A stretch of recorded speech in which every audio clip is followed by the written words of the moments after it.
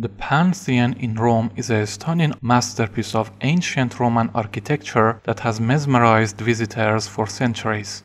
Originally built around 27 BC by Marcus Agrippa, the temple was later reconstructed by Emperor Hadrian in the early 2nd century AD. The most remarkable feature of the Pantheon is its enormous dome which spans an impressive 142 feet in diameter, making it the largest unreinforced concrete dome in existence.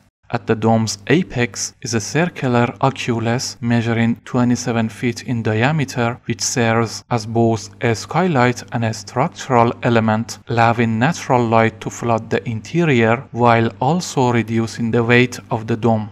The grand entrance is accentuated by a portico featuring 16 massive Corinthian columns made of Egyptian granite, embodying the monumental scale of this historic site.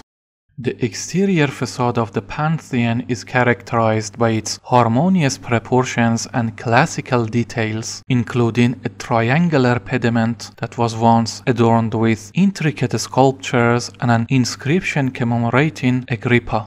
Inside, the grand rotunda features a stunning circular ceiling and an intricate marble floor with geometric patterns, providing a visual feast for those who enter. Massive walls rise to elegantly support the airy dome above, while niches and statues throughout the interior honor important figures, including the Virgin Mary and notable kings of Italy.